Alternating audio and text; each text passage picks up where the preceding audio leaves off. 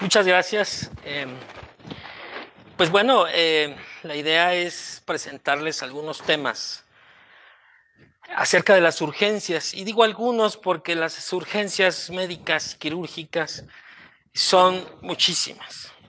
Desde que yo salí de la especialidad hace un poco más de 25 años, la gente me dice, bueno, ¿y tú en qué especialista en qué eres? En urgencias. Y entonces eh, dicen de todo, sí, de todo. Y efectivamente, como ustedes van a, van a saberlo, una, una urgencia, una emergencia, es cualquier patología que ponga en peligro la vida de una persona o la función de un órgano vital. A veces no, como personas, como familiares no lo comprendemos, pero como médicos debemos saber exactamente qué vamos a tener. En esta ocasión, eh, el, doctor Eloy Meléndez Aguilar también me, hizo favor de, invitarme junto con el doctor Alfredo Neri, Memige Neri, a hablar sobre un tema fascinante, diría yo, en las urgencias, el trauma abdominal.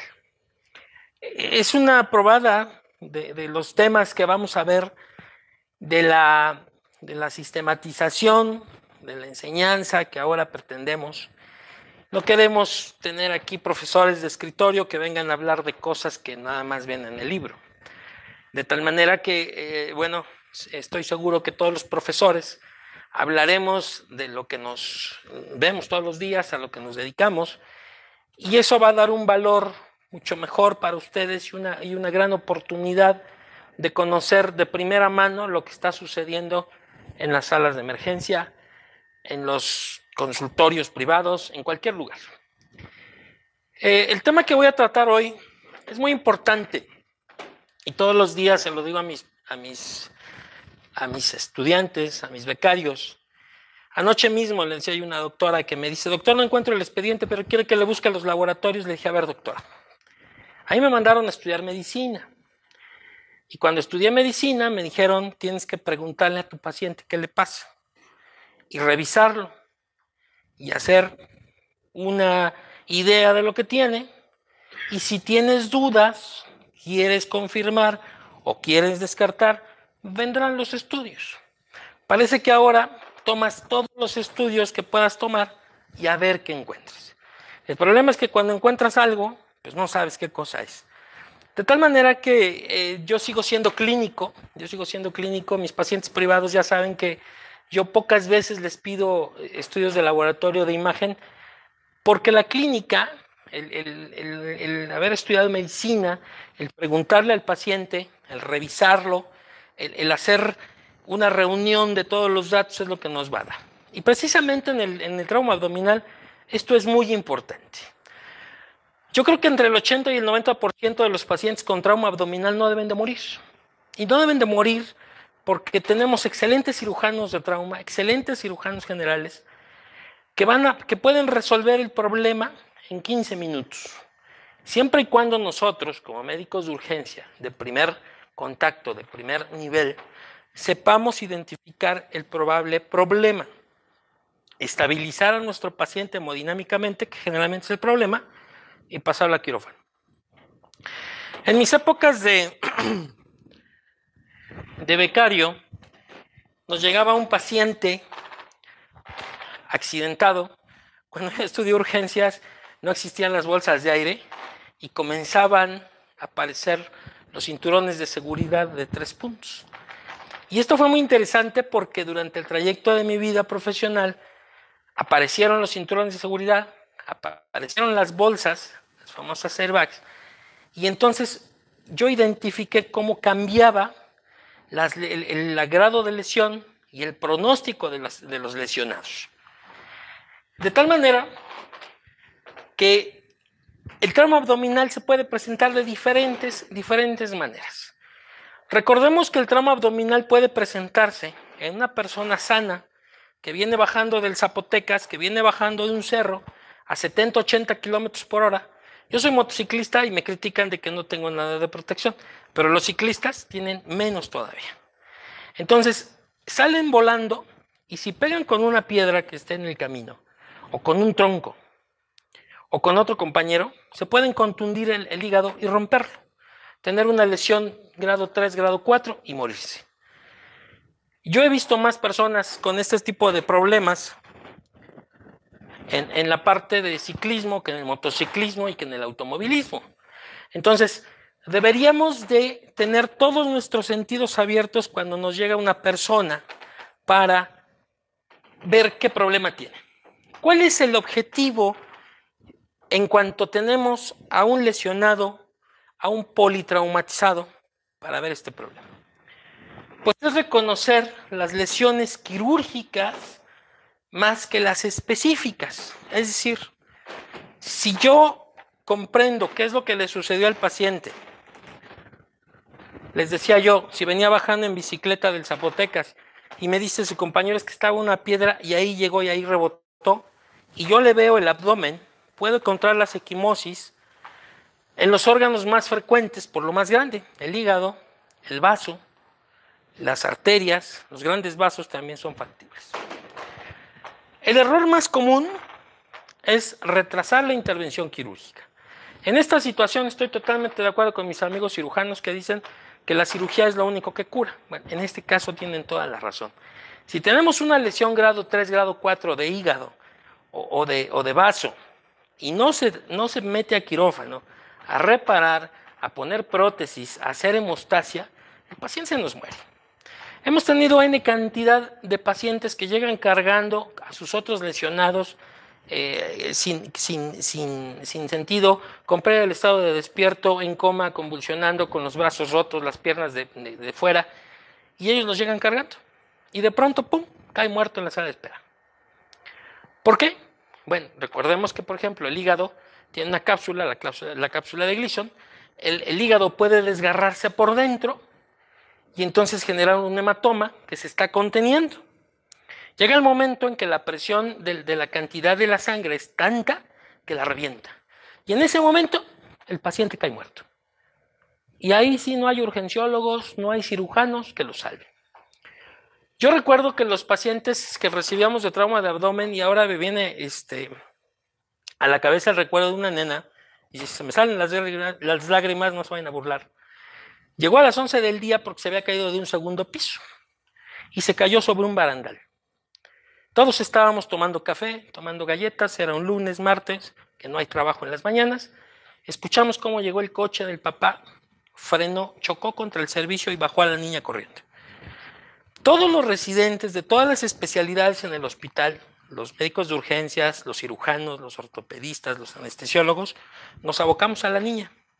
En menos de siete minutos la teníamos en quirófano con cuatro venodisecciones, dos en las extremidades superiores, dos en las inferiores, y los cirujanos, así, en canal abrieron a la niña. Tenía lesión de grandes vasos torácicos, tenía lesión de corazón, tenía lesión de la, de la cava, la, arteria y la vena hepáticas no se encontraban tenía lesionado el mesenterio, tenía lesionado el hígado y tenía lesionado el vaso. Después de 3, 4 horas de, de, reparar, de poner prótesis, de pasarle líquidos, nosotros entramos al quirófano vestidos con la ropa de calle prácticamente. Los anestesiólogos en lo que llegaron, nosotros ya la teníamos intubada y anestesiada. La niña salió a terapia viva. Ese día fue una convivencia de todos los residentes muy buena porque todos nos fuimos sobre el trauma de esta niña. Y todo salió perfecto. El problema es que había perdido demasiada sangre y no soportó entonces el tratamiento posterior a la reanimación. La niña falleció al otro día. Todos lloramos a esa niña porque era una, niña muy linda, alrededor de seis años, y que todo mundo puso a lo mejor. No retrasamos el tratamiento, pero las lesiones eran extremadamente graves. Si yo las retraso, pidiendo una BH de control, pidiendo unos tiempos de coagulación, haciendo que en la libreta apunten que pide interconsulta cirugía. Eso no funciona en trauma. En, en trauma es así. ¿De qué depende que un paciente, un lesionado, que llega de la calle con un trauma abdominal, pase a quirófano a la resolución? De nosotros, de los médicos que estamos en urgencias. No de los médicos especialistas en urgencias, de los que estamos en urgencias. Y de ahí la importancia de este, de este diplomado, que tengamos la capacidad de identificar lo que se necesita. Obviamente todos nuestros cursos de ATLS, de ACLS, de todo lo que ustedes quieran de LSS son muy buenos. Pero si ustedes no tienen el criterio de identificar una lesión grave, ese lesionado va a morir. Pero si ustedes tienen la capacidad de identificarlo, créanme que esa persona a la semana se va a ir caminando a su casa y les va a venir a regalar una bolsa de chocolates. Además la gente es así.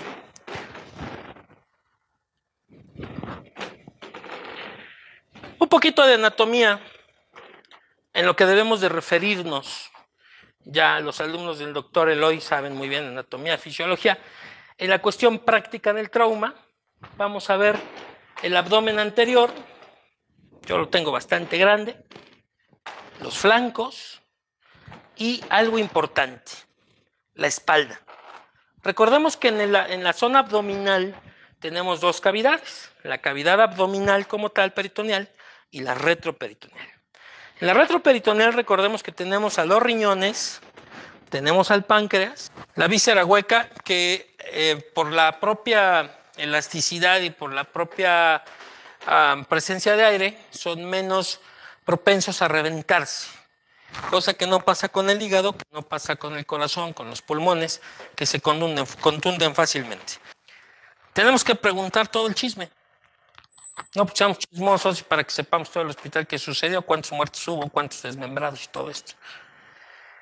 El paramédico va a ser nuestros ojos en el sitio del accidente. Y yo tengo que preguntarle, ¿cómo quedó el coche? ¿Cómo quedó la motocicleta? ¿Cómo quedó la bicicleta? ¿Cómo quedaron? ¿Dónde iban? Si fueron proyectados fuera del automóvil, si quedaron atrapados, si quedaron prensados, si llevaban cinturón de seguridad, si llevaban bolsas de aire. Porque eso es muy importante para determinar las lesiones. Recordemos que sobre todo en, las personas eh, ancianas, eh, las personas que tienen problemas de aterosclerosis, que dicho sea de paso es uno de nuestros grandes problemas actuales, pueden presentar los famosos síncopes, los famosos ictus, que pierden el estado de despierto. Entonces, si nuestro, nuestro paciente va en su cochecito hacia Atlisco y se atraviesa ahí por la entrada de Lomas a las 9 de la mañana, que es un mundo de gente, y tiene un ictus, se va a ir a proyectar contra quién sabe cuántos coches. Ahí nosotros tenemos que, ver varias cosas. La primera, ¿qué ocasionó el accidente? Si el señor iba a 50 kilómetros por hora. No iba borracho, no iba como loco, no iba drogado. Bueno, pues presentó un ictus probablemente. Después de que presentó el ictus, pues a él le gustan los coches clásicos y los coches clásicos nada más traen eh, cinturones de seguridad de dos puntos, no de tres. Si el señor choca a 60 kilómetros por hora con un coche antiguo que tiene, eh, no tiene absorción de golpe, este, de impacto, y se pega con el volante en el abdomen, seguramente va a tener una lesión en hígado y esa lesión se puede ir a retroperitoneo como en este caso. Como les decía, el, el vaso tiene de 40 a 55% de posibilidades de salir lesionado, el hígado un 35 a 45. Un hematoma retroperitoneal puede presentarse hasta en un 15-20%.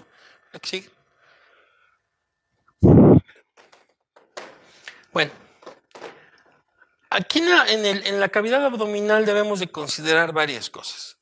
Recordemos rápidamente que tiene una pared que está formada por piel, por tejido celular, por músculos, por, sus envolturas, y después viene el peritoneo.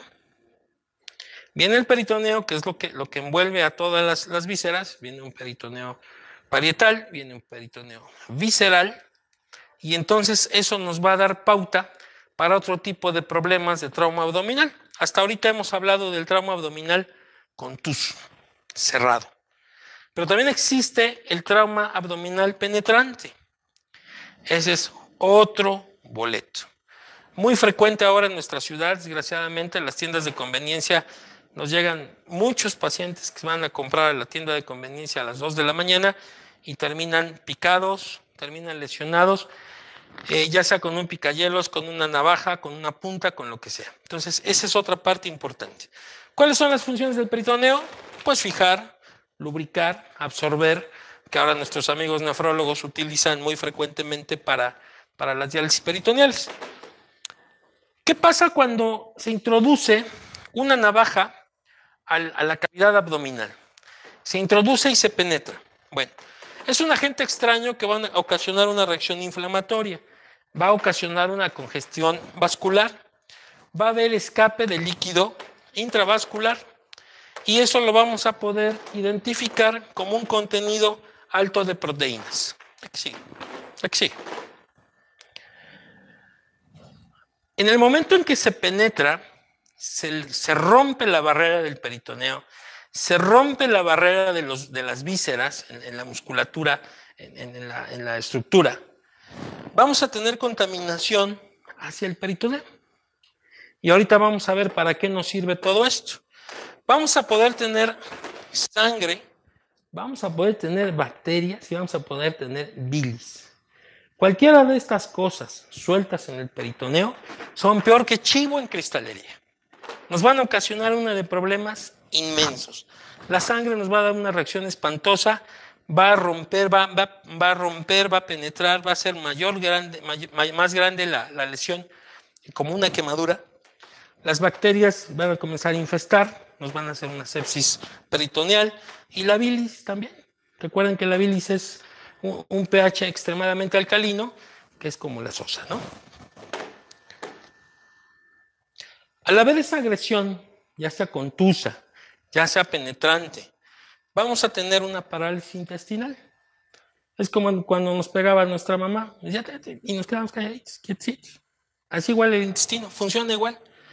En el momento en que el colon se mantiene parado, se comienza a distender y entonces hay salida de las bacterias colónicas hacia el peritoneo.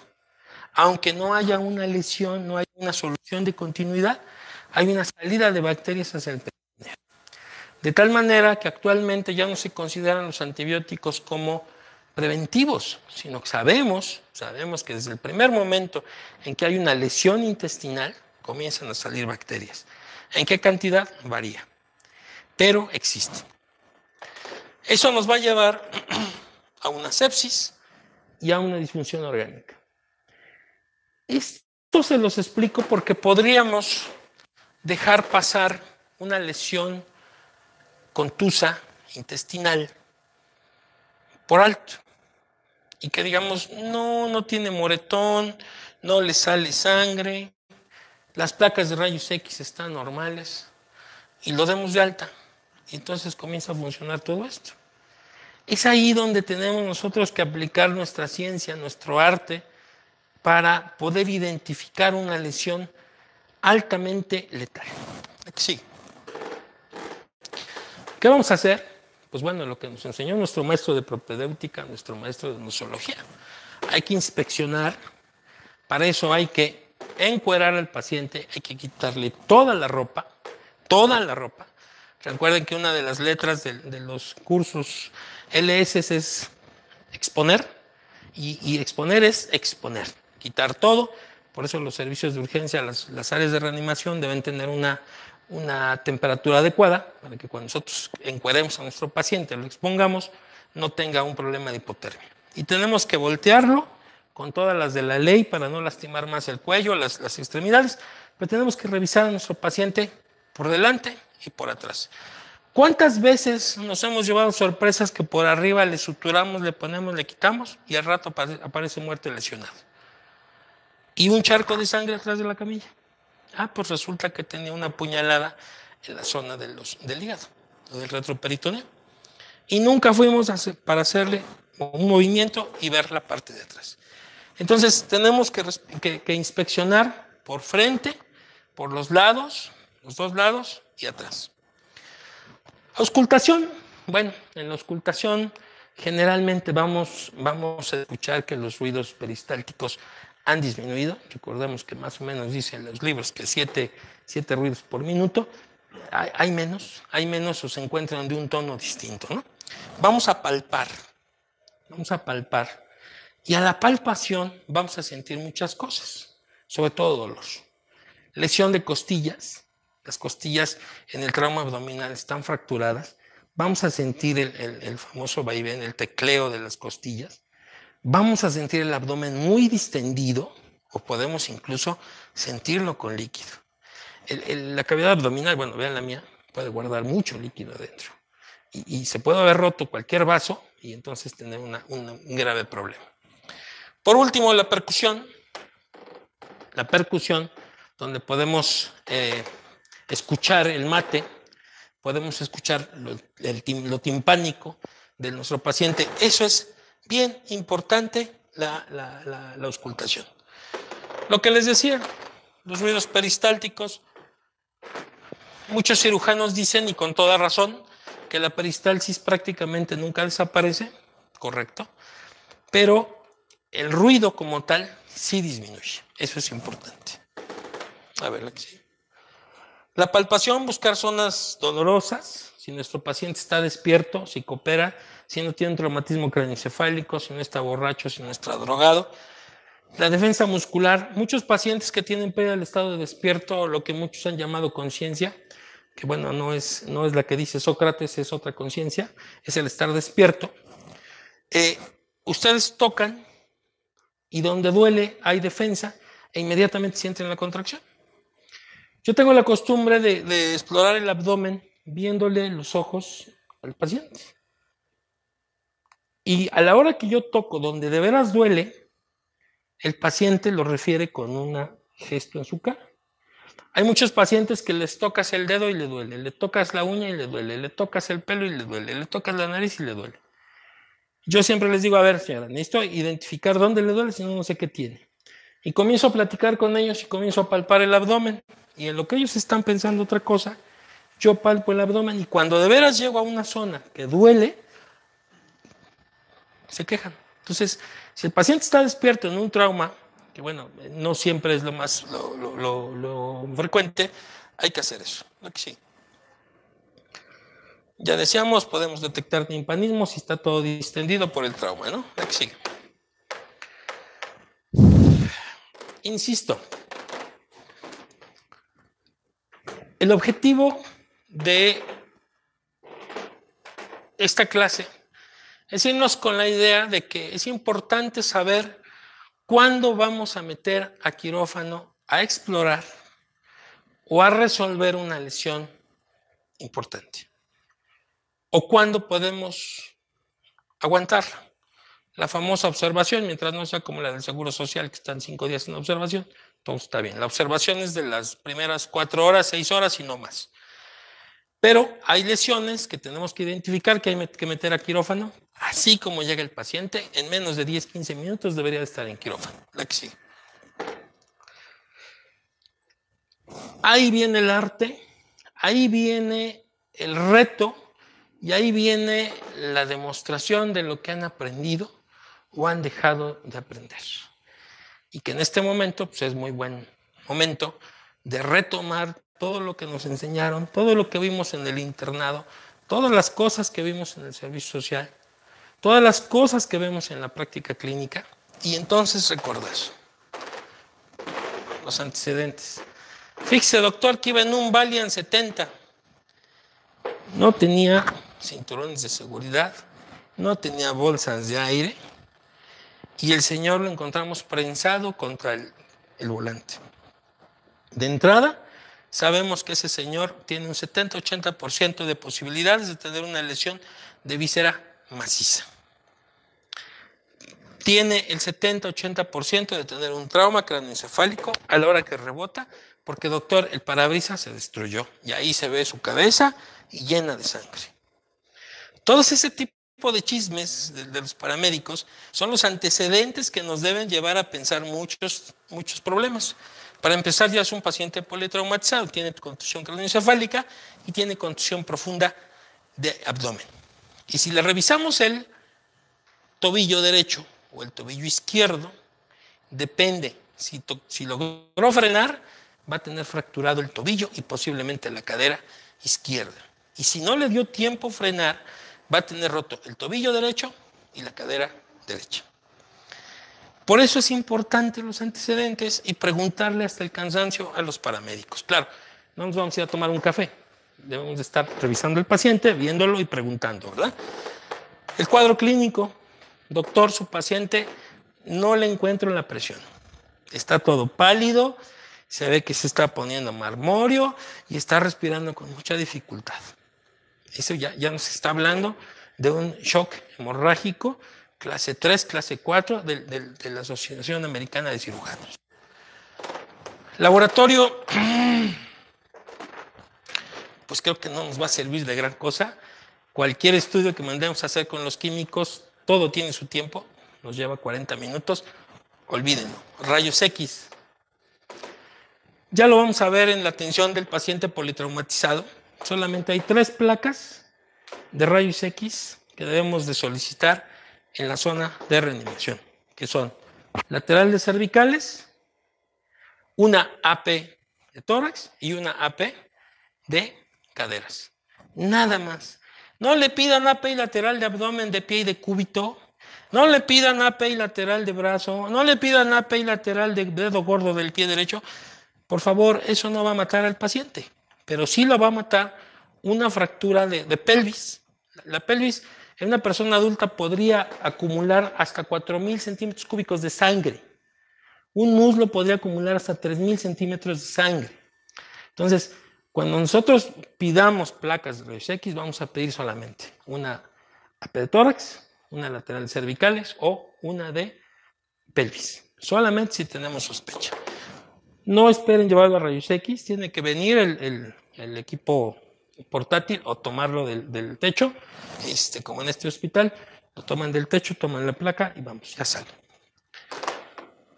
Aquí vienen otras cosas que si bien estamos en la era de las tomografías, estamos en la época de las resonancias, una resonancia es tardada, pero una, tomografía con un buen técnico no nos lleva más de 4 o 5 minutos y nos puede dar mucha información. Sin embargo, no en todos lados tenemos tomografía a las 24 horas, un técnico aguzado en trauma, entonces, o, dinero, porque cuesta dinero. Pero sí tenemos una cosa que se puede hacer que se llama lavado peritoneal diagnóstico, que desde los albores del trauma moderno hemos usado. No nos vamos a llevar de material más de 100 pesos y solamente necesitamos una aguja una, solución y un Venopac. Y saber cómo hacerlo. Eso vamos a identificar si hay sangre o no hay sangre, o lo que les decía yo al principio, si hay bacterias, si hay bilis, si hay restos de, de comida, o si hay pasto, o si hay lo que sea. El ultrasonido es una maravilla, el famoso FAST. Con el FAST lo que vamos a buscar en trauma es la presencia de líquido libre, que es sangre. Eso el, médico que está en urgencias puede poner el, traductor, puede prender su, pantalla e inmediatamente va a identificar si hay o no hay líquido libre. Si hay líquido libre, mis hijos de lindos, corriendo a quirófano. ¿A qué? Pues a ver qué sale, a ver qué tiene. Hay que hacer una laparotomía exploradora y le vamos a salvar la vida al paciente. Si no tiene líquido libre en cavidad, entonces nos da chance Hacerle un lavado de buscar si tiene bilis, si tiene bacterias, si tiene popó, si tiene sangre, si tiene mil cosas. La laparoscopía diagnóstica, pues eh, es algo que está, eh, sinceramente, yo creo que ahora una tomografía nos da más información que una laparoscopía y eh, mucho más barata y más práctica, ¿no? Sí. Bueno. Esto ya lo platicamos. La que sigue. Vamos a tener dos grandes pacientes. En la época de los algoritmos vamos a tener dos pacientes. El paciente estable, ¿cuál es el paciente estable? El que está despierto, el que nos contesta, pues que fíjese doctor que se me atravesó un perro, yo volanteé y cuando me di cuenta estaba yo sobre el árbol. Bueno, sobre un árbol no nos va a decir se va a morir. Este, sobre otro perro, sobre un coche. Y y después ya no supe, doctor. Oiga, ¿y qué le duele? No, pues me duele todo. ¿Cuáles son sus signos vitales? Pues fíjense que tiene 110-70, tiene frecuencia cardíaca de 90, tiene frecuencia respiratoria de 22 y tiene temperatura de 36. Su oximetría tiene 95, 96. Está estable. Entonces ya lo revisamos con toda calma y podemos pedir un ultrasonido integral abdominal y revisarlo. El paciente inestable. Doctor, no le encuentro la presión. Doctor, no le siento el pulso. Lo vemos pálido, pálido, pálido, y nomás en la, la carótida está, pulsando. Y nosotros lo revisamos y aparentemente no tiene nada, pero es como un saco vacío. Está pálido, no nos responde porque no tiene estado de despierto, tiene un traumatismo craneoencefálico. Ahí tenemos que hacer un lavado peritoneal así. Le abrimos abajo del ombligo dos centímetros, le metemos un, trocar, le, le, metemos una, una infusión de, de 20, 20 mililitros por kilo, más o menos litro, litro y medio. Le hacemos el famoso chacachaca, por eso se llama lavado, lavado. Hacemos un chacachaca como el de Ariel y, y volteamos la bolsa. Si inmediatamente sale líquido o a la hora de aspirar sale sangre, a quirófano. Ya no necesitamos mucho para ver porque el paciente está inestable. Obviamente ya mientras las enfermeras pusieron dos vías este, grandes, del, del, 10, del 8, una en cada brazo, o, si están en el Departamento de Distrito Federal, pues nosotros hacíamos disecciones en, en la ingle, metíamos en la safena una, venda, una sonda Foley del 20 o un venopac. Entonces poníamos uno de cada lado y uno en cada lado de los antebrazos. Ese venopac nos, eh, nos garantizaba una infusión de un litro en 4 a 5 minutos. Por eso los pacientes se iban caminando a la semana, porque teníamos que estabilizar. ¿Qué está perdiendo sangre? ¿Qué está perdiendo volumen? Si yo pido sangre y si la, la, química del banco de sangre es muy religiosa, pues nos va a decir que tenemos que llevar a los donadores y que va a haber esto y que va a haber el otro y que vengamos en tres horas. Pues en tres horas el paciente ya está, está velando, ¿no? Entonces tenemos que infundirle líquidos. ¿Qué líquidos? cristaloides. ¿Cuáles son los cristaloides? Facilito. Harman, solución fisiológica. Y coloides. ¿Qué coloides tenemos a la mano? Los almidones. Los almidones son una maravilla. las soluciones a base de maíz llegaron a revolucionar la, reanimación hídrica, la reanimación este, de fluidos. Entonces, por, una, por, unas, por dos estamos pasando eh, Harman fisiológica y por otro estamos pasando almidón. Y podemos estar pidiendo sangre solamente de grupo a grupo y entonces infundirla. Hace unos días platicábamos en una velada con el doctor Memige que todavía nos tocó la época de picar los hemotórax, recuperar la sangre del hemotórax y volvérsela a meter. Nos tocó hacerlo al doctor Memige. Yo hace una semana, dos semanas, una velada muy rica en la casa, platicábamos esas experiencias. Nuestros pacientes iban vivos, se iban, se iban caminando a la semana. O sea, e, e, ese es lo hermoso del, del trauma.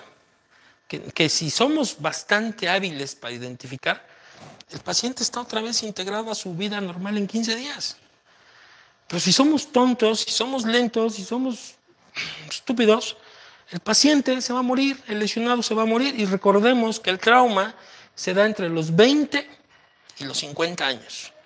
Exactamente cuando estamos en nuestra carrera, estamos en nuestro trabajo, tenemos una familia y tenemos toda una vida por delante.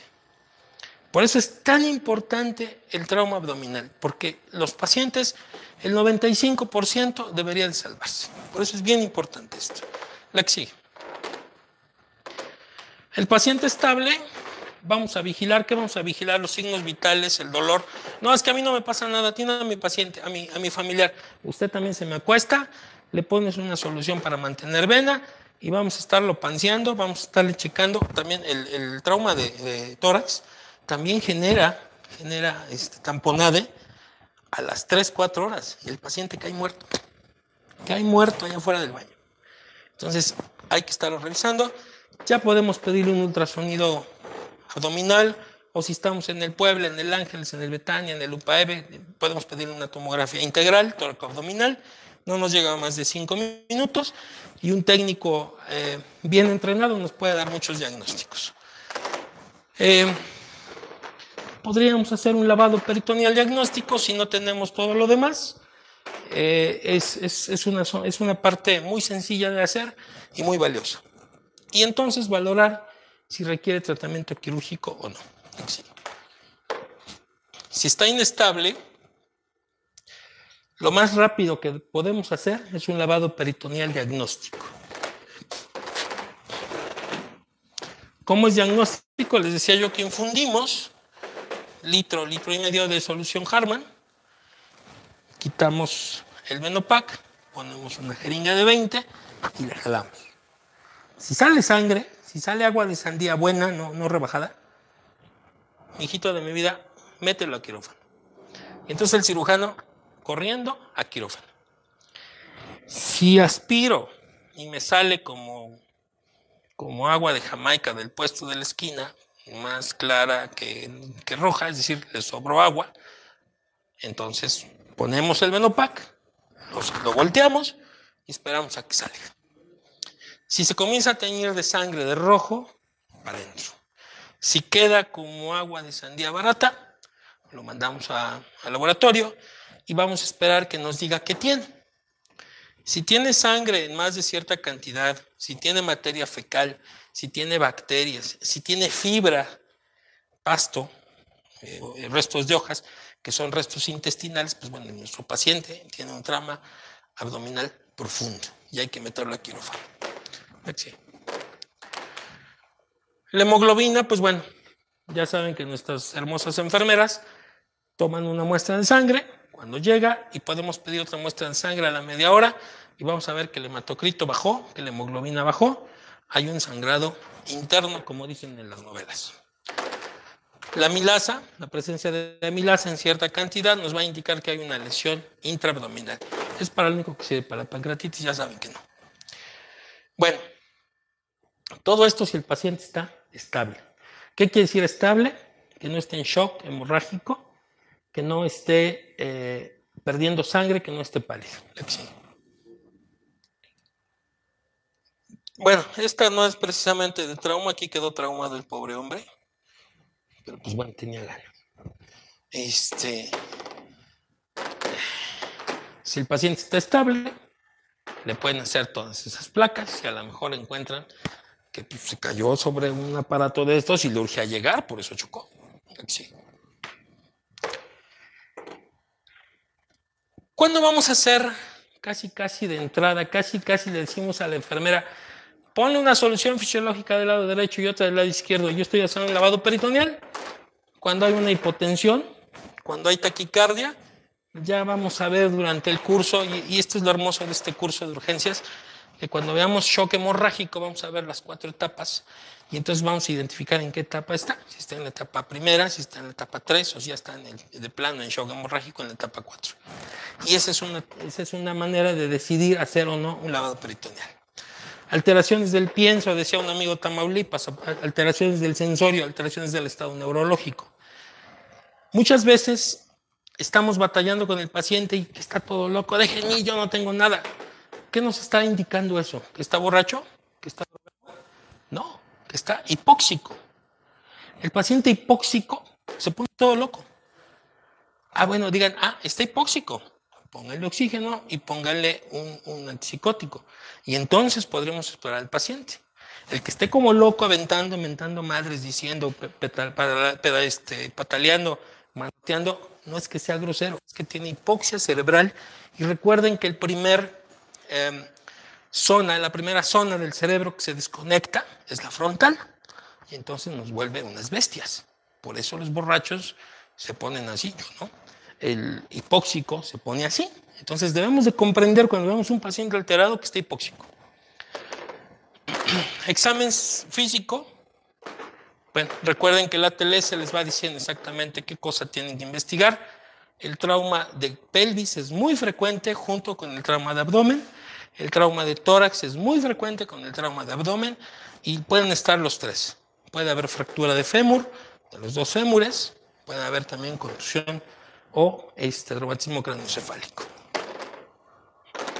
Aquí sigue.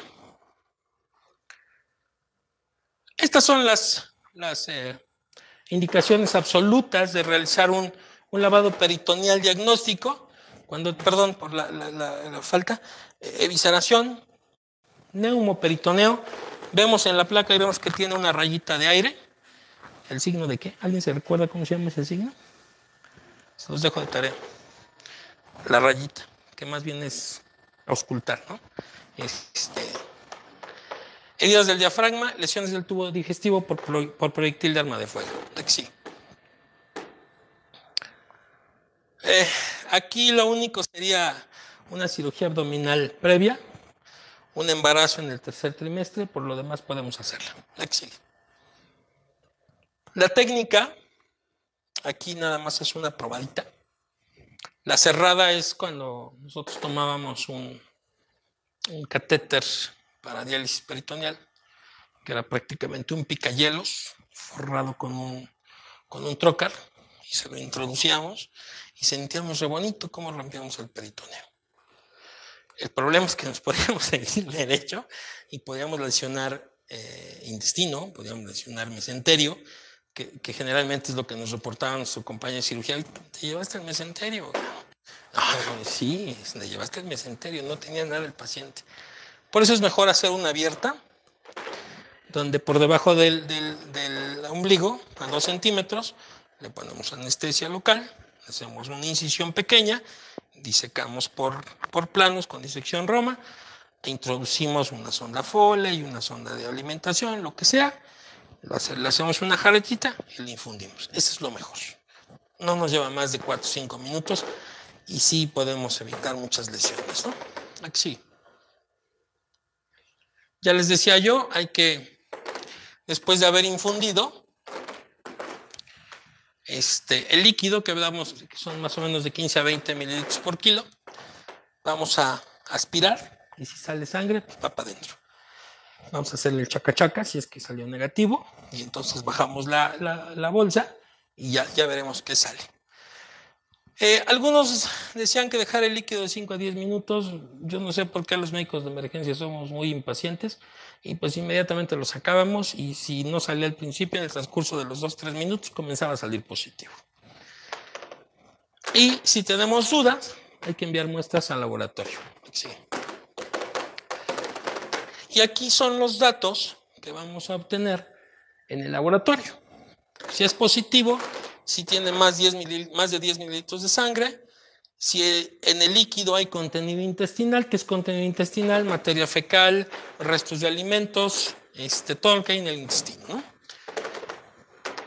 Más de 100.000 eritrocitos por milímetro cúbico, más de 500 leucocitos por milímetro cúbico, más de 20 unidades de milasa, más de 3 unidades de fosfatasa o la presencia de bilis. Esto quiere decir que es positivo. Si tenemos duda, sigue.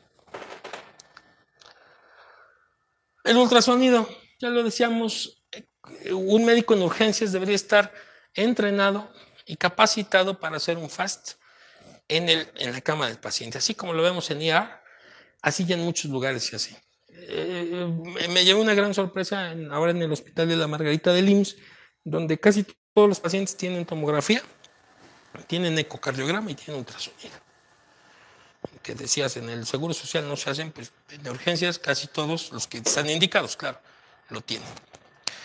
Tiene una sensibilidad alta del 65 al 95%, una especificidad también adecuada y pues bueno, sobra decir que es muy económico. Aquí, aquí lo único es eh, que debemos de tener em, un personal altamente capacitado para que pueda identificar no lesiones específicas, digo, es prácticamente imposible, pero sí la presencia de sangre o de líquido libre. La que sigue. La tomografía, si nuestro paciente está estable, si tenemos muchas dudas, eh, yo lo comencé a hacer en, el hospital UPAEP con Víctor Hugo, un, técnico de, de, tomografía excelente. No me tardaba el paciente más de cuatro minutos dentro del aparato y le hacíamos un escaneo inmediato identificábamos muchísimas lesiones, tienen alta especificidad, es relativamente barato, es inocuo. Aquí deberíamos de, conjugar alguien, algún médico, ya sea el médico de emergencia, el, médico cirujano, más bien el cirujano general, y el que está haciendo el estudio, porque entre los dos van a poder identificar problemas. Aquí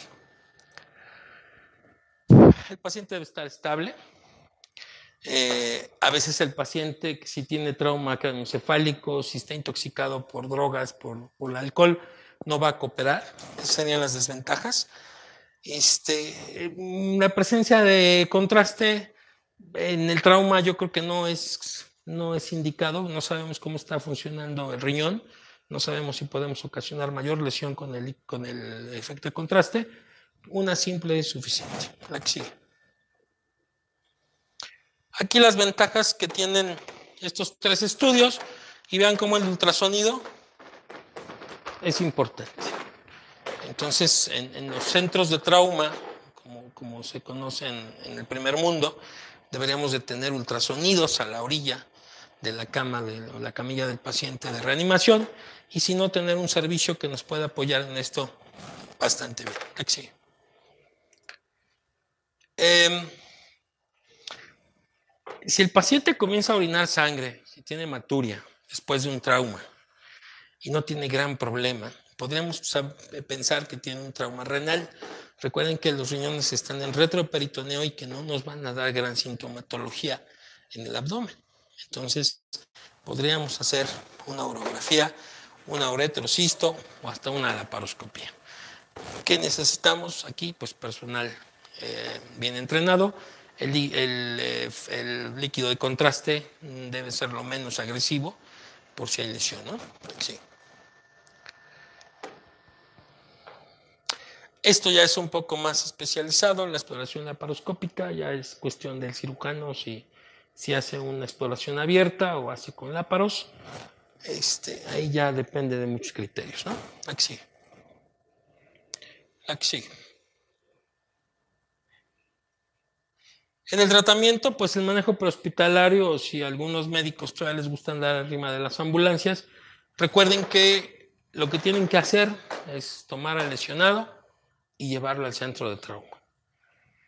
En alguna época, por ahí de los 80 se pugnó mucho porque fueran canalizados los pacientes. De pronto, cuando se hicieron los estudios retrospectivos, se dieron cuenta que había un retraso hasta de una hora y media tratando de canalizar a un paciente.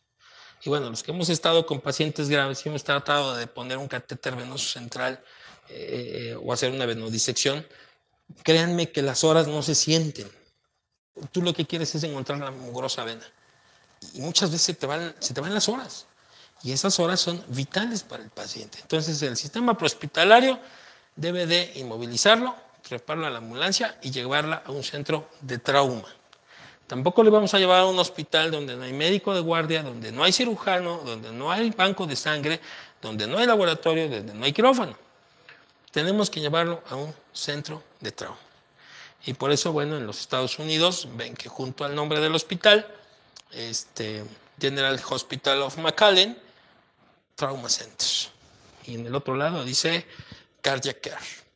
Ahí están preparados para recibir pacientes de trauma y pacientes de infarto cosa que no tiene, por ejemplo, el, otro de niños, no lo tiene, o, los de la calle 10, no lo tienen. Ese general sí lo tiene. Aquí en Puebla deberíamos, y bueno, los, los, este, estados, los sistemas hospitalarios sí tienen identificados a qué hospitales llevar a cada paciente, ¿no? Sí. Bueno, cuando tenemos una lesión importante, ya sea una contusión profunda de abdomen, que es cuando se lesiona, por ejemplo, intestino, hígado, o una lesión abierta.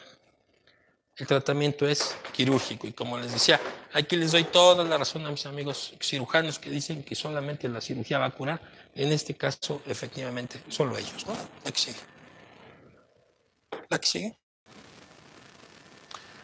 Bueno, ya saben, el ABC, este, llevar a hacer todo lo que dice su, su atelese, la que sigue. La que sigue. Lo que decíamos, ¿no? Este, no hay que tratar de canalizar, no hay que tratar de meterle las, las, las vísceras al paciente. Se tapan con una compresa, con lo que tengan, se le echa solución y vámonos. Igual que a una quemadura, ¿no? La que sigue. La que sigue. Ya hablábamos de corregir el estado de choque con soluciones cristaloides, solución fisiológica, solución JARMA, dos vías grandes, no catéter central.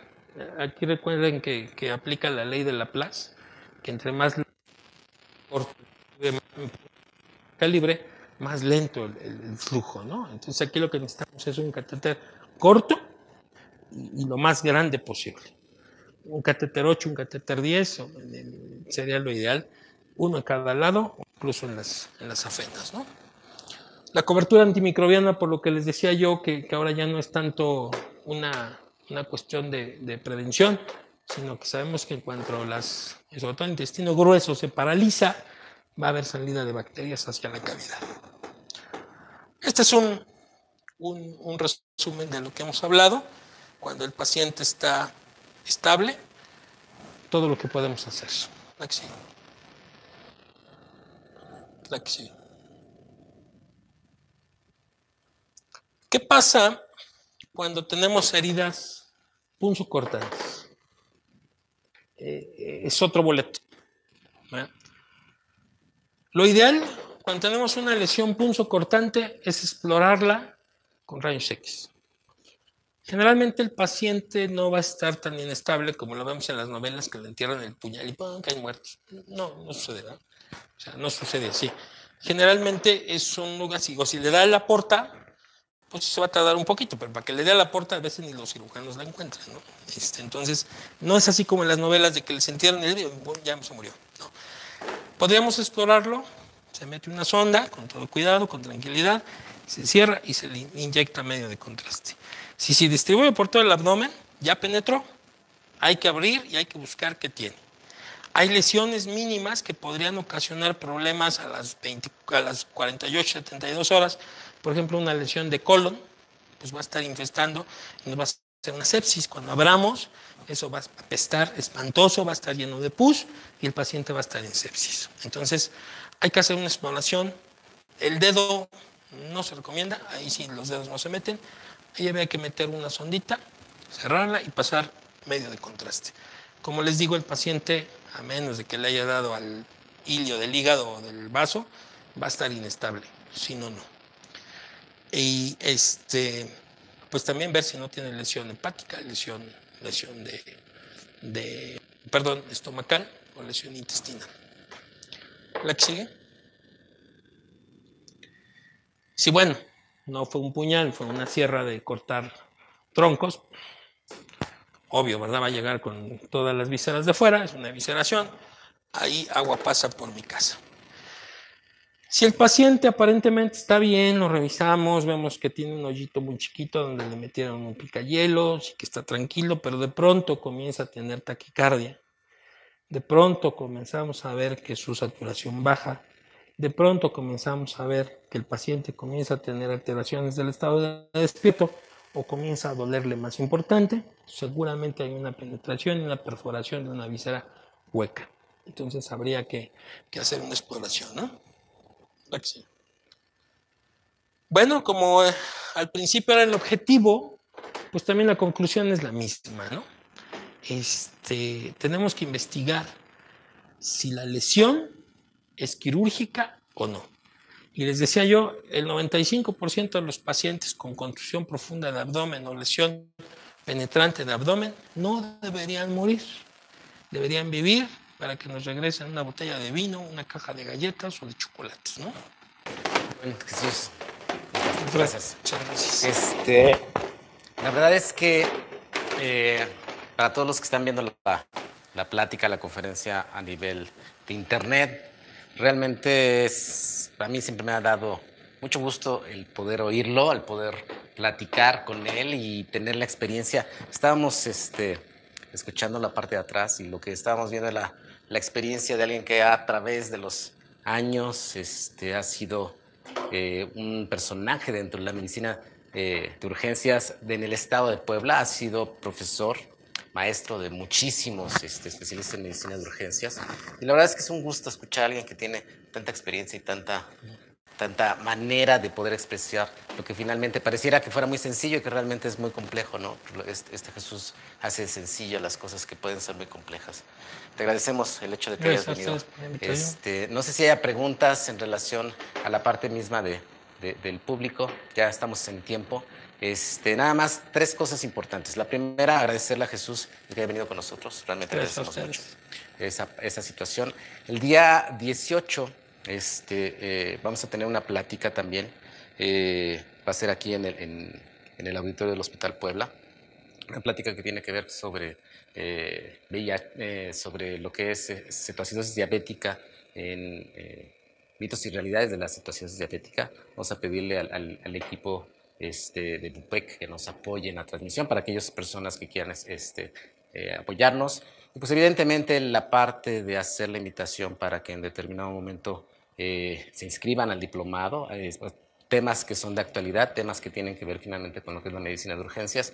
Y este, pues bueno, Gracias por, por, haber participado con nosotros. Inscríbanse, métanse en la parte de finalmente, ya nos falta poco para iniciar el diplomado. El 27 iniciamos el diplomado este, en, la UAP, en, las salas finalmente eh, con la aprobación de, de, la UAP. Y pues bueno, este, vamos a vernos más seguido por acá. Gracias a todos Gracias. ustedes. Disculpa.